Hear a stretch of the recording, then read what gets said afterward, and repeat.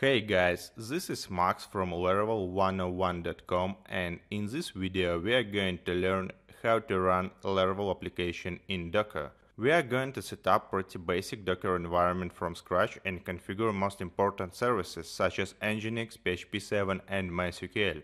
Before moving on, let's consider the following folder structure for our project. Inside of root directory, we'll have src folder where source code of our application will live. We'll also have database folder where our database will be stored. In Docker Assets folder, we'll store Docker files and other configuration files for our Docker services.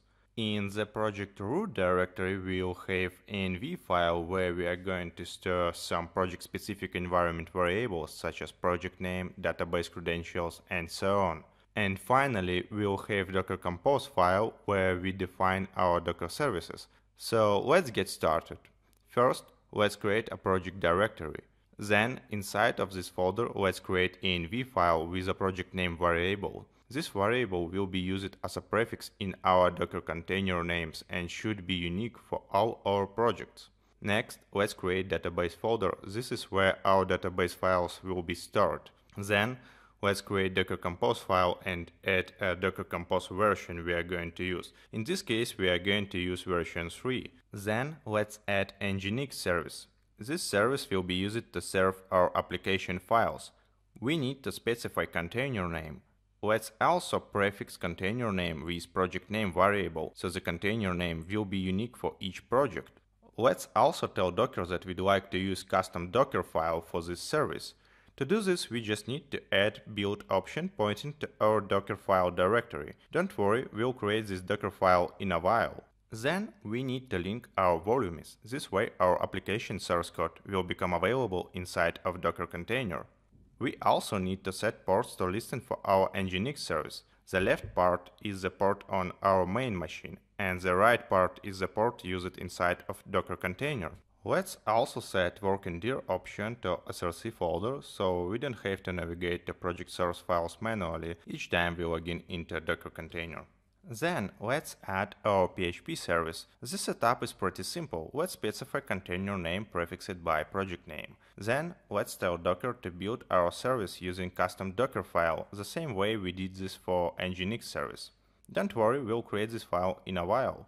Lastly, let's link our src folder with the folder inside of Docker container.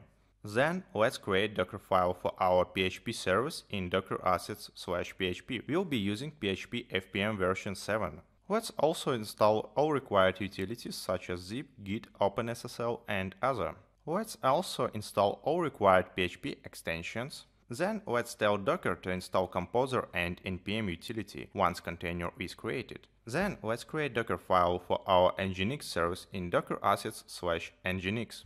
We'll be using Nginx from Alpine. Alpine is a lightweight Linux distribution and I prefer to use it in Docker containers instead of Ubuntu. As we'd like to have better control over our web server configuration, let's create custom vhost config for Nginx in docker assets slash nginx slash confd. Then let's go back to our docker compose file and link our PHP service with our Nginx service. Let's also tell Nginx service to use custom vhost configuration file we recently created. Next, let's add MySQL service to our Docker Compose file. Let's also tell MySQL to use native password authentication method and set our root password along with database name and username. For our convenience, let's store database access credentials in our env file and update Docker Compose file to use newly created environment variables. After we added MySQL service, we need to link it with our PHP service. Alright, we added all necessary services required to run our application. Let's create test index.php file in our src slash public directory to see if it works. If we did everything right, after we start a Docker container, we should be able to open localhost at port 8080 in our web browser and see the content of our index.php file. Let's build and run our Docker containers. Great, everything works fine. So let's install fresh Laravel application. First, let's remove our test index.php file and then login into our PHP Docker container and create new project using Composer.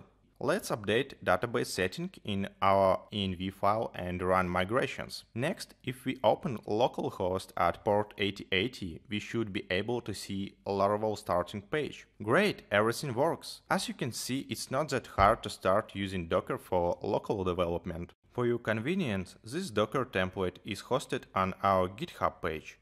I hope you enjoyed this video. Please do not forget to subscribe to this channel to stay up to date with our latest videos and cool web development tips. Thanks for watching.